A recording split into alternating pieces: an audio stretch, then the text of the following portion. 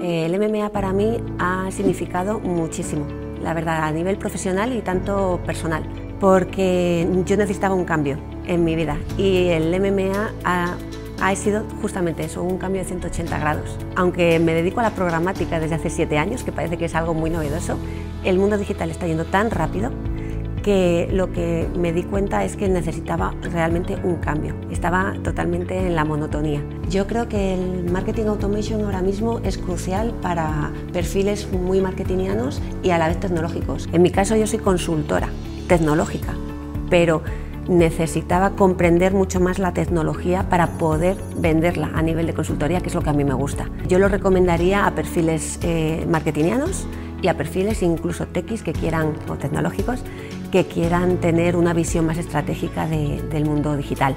Creo que el MMA fusiona muy bien esas dos, dos opciones.